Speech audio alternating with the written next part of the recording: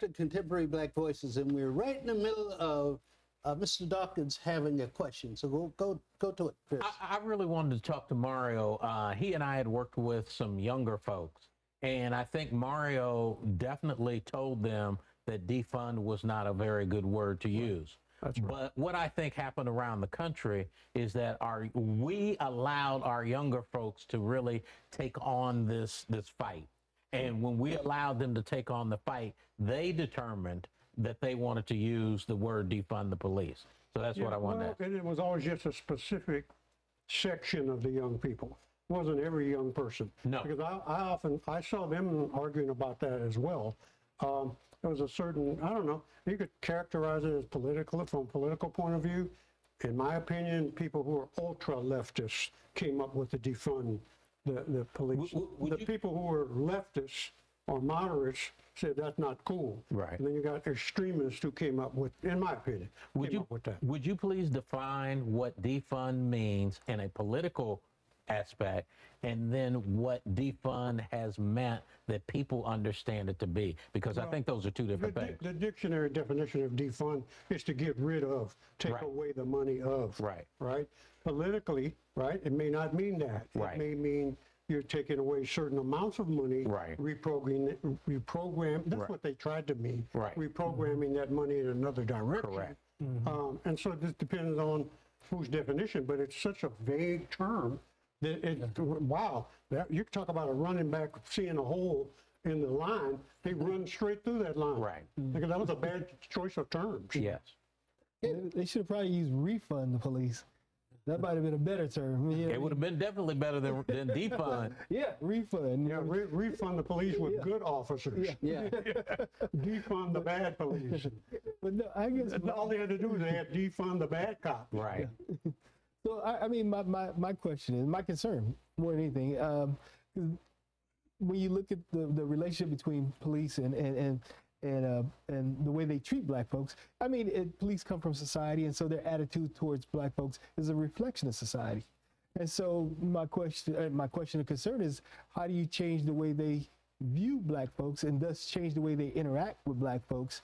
And so that that's more of a, of a, of a broader issue between society and changing society, the broader society's perception of, of, of black folks. And how do you do that? Because I think a lot of that will probably, uh, it, it stems from the economic conditions of those communities. Yeah, well, and, and, and I go back to the problem of someone who's a white supremacist, you're not going to change them this side of eternity.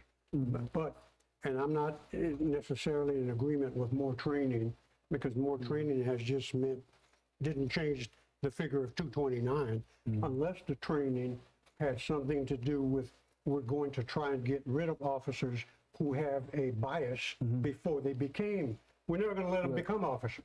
And mm-hmm. we're we're going to vet them. Have you ever used the word, the N-word? This is what a police psychologist ought to be asking those officers. I don't, they're not doing that.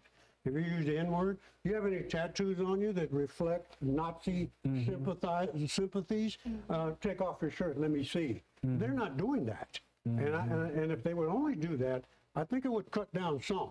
It would cut down some At what point would they do that? Before they get hired? yeah, before they get hired. Okay. When, when they go through the vetting process, Right. the hiring process, they're, they're not doing that. Do you have anybody in your family that uh, told racist jokes? Uh, these are legitimate questions you can ask a police officer. Um, they're not going to ask carpenters that, and maybe there's no need because they're not killing people with hammers and saws. but uh, but police officers ought to be asked questions like that. You know, do you hate women? You know, Did you ever slapped your wife? You, have you ever been had abuse charges filed against you for any kind of hatred? Do you, do you- have you ever experienced hatred from friends or neighbors or relatives?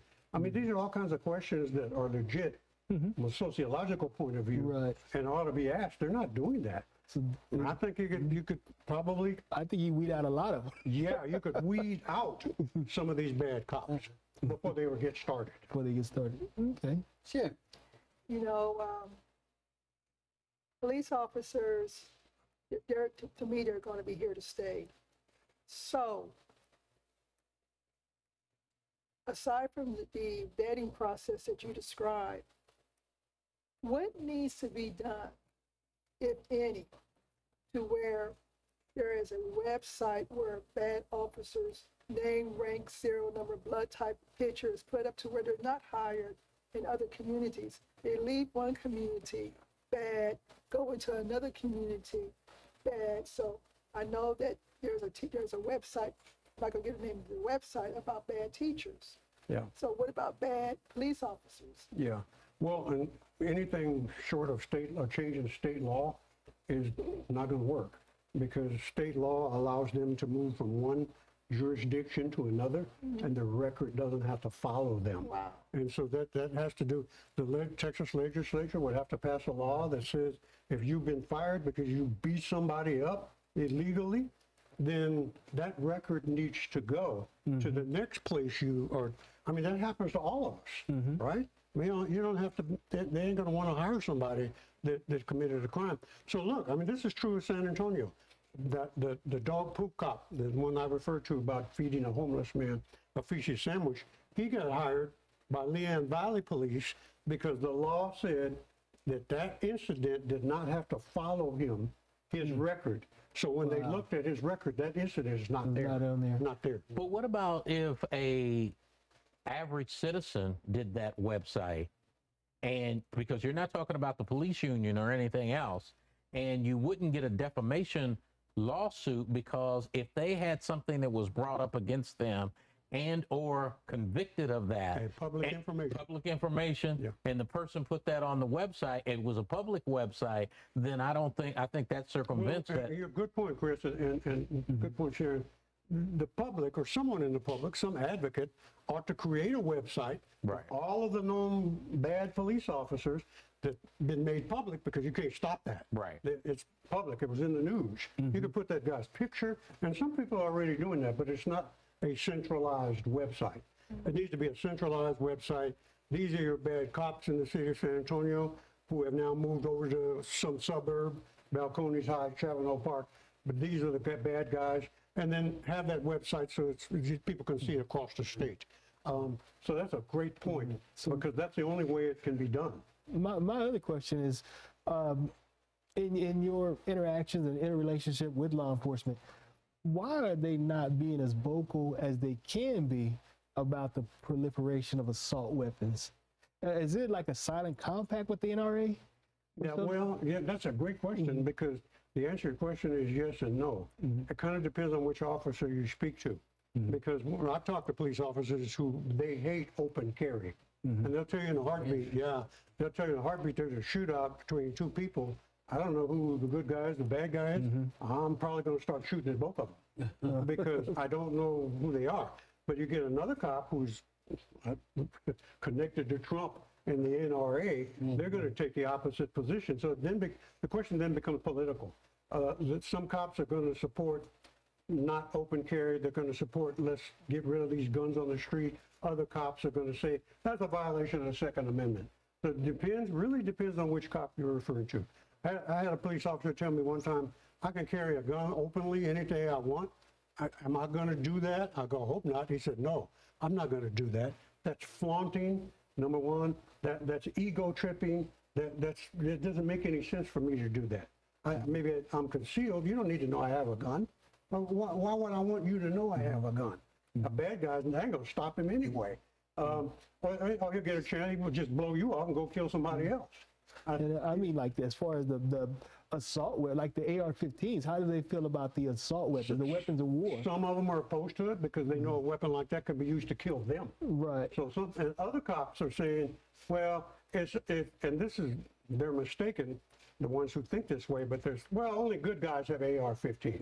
That- that- Yeah, I've heard a cop actually say that. Wow. Yeah, and so, the- the- and that's an NRA guy. Wow. An NRA cop versus a non-NRA cop. And so I think that's what we're dealing with, There's two sides of, of the story. so mario the second amendment tell me what your thought is Second Amendment? Well, Yeah. Yeah, I have guns.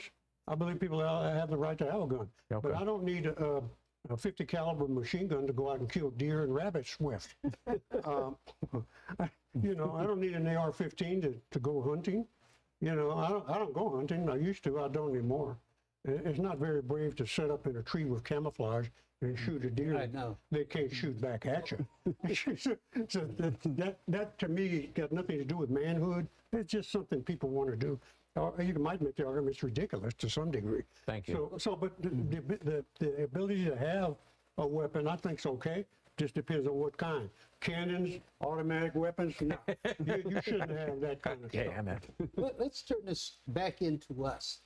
What is our responsibility as black people, as a black community? What is our responsibility? Know the law is the main thing. Know the, the, the amendments to the Constitution that, that deal with police stops. If you don't know those, be trained in them. Get the training you need uh, to know that you don't have to answer questions on a police stop.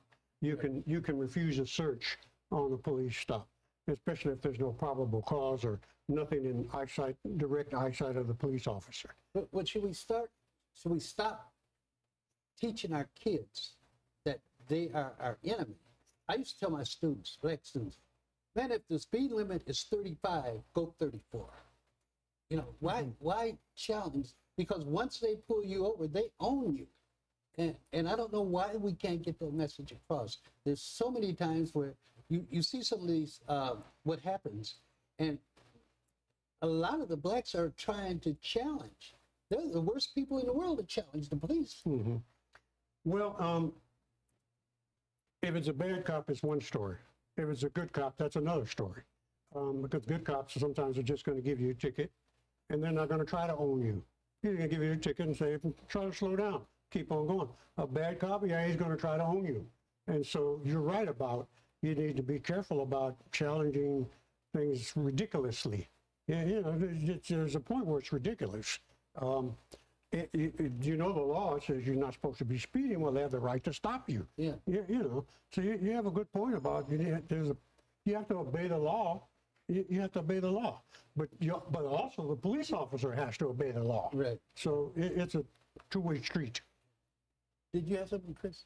No. Oh, I What- do, I have a oh, quick go ahead. question. What are the minimal requirements to be a police officer?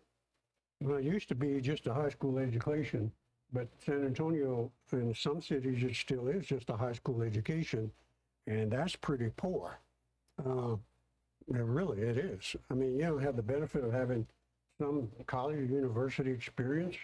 It could be you went to an all-white school. That's a problem uh, in the high school, especially these co- officers coming from Bandera and Helotes, Right. where those schools are 80, 90% white.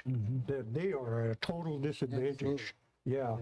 So um, it used to be that. I think s- over the course of years, I think San Antonio uh, opted for a police officer ought to have at least two years of college. So they go, some of them go to San Antonio College and so forth. And I think Chief Mack, the chief here in San Antonio, uh, wanted that to be the rule. So they tried to raise up the level just a little bit. And two years of college is better than none, but even then, that ain't much either. Depends on which college. Yeah, it depends on the college. And, you know, is it an apartheid college? Uh, what kind of college? Yeah, an apartheid college, you know, in Tiger Shoe, Texas. we got about 45 seconds left. so- So, so, all right, yeah, I'm good- gonna give you good the, question. that time to whatever you want to tell our viewers Sure. about this whole subject. Sure, I'm glad to be here. Okay. Thank you much. Go ahead. Do you want to say something to our viewers? Oh, well, no, I'm just saying, um, know the law, know your rights, report bad police officers when, if they abuse you. Don't wait five minutes. Get on the phone, go downtown, file a complaint with Internal Affairs. We, we support our good cops, but we don't support the bad ones. Well, we want to thank you for being here, uh, Professor Salas, and hopefully you'll come back at another time. Be glad to. Okay. So this contemporary black, black voices, we're going to take a break and we'll be right back with you.